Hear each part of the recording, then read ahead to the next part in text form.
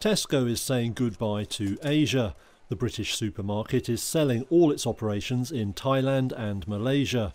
Thai conglomerate CP Group is buying them in a deal valued at $10.6 billion. The plan was first announced in March, but needed approval from regulators in Bangkok. With that now in place, Tesco says it should all go through on or around December 18th.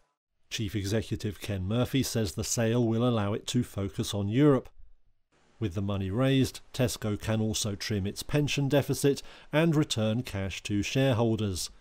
The firm says they'll get a special dividend of £5 billion, or about $6.7 billion.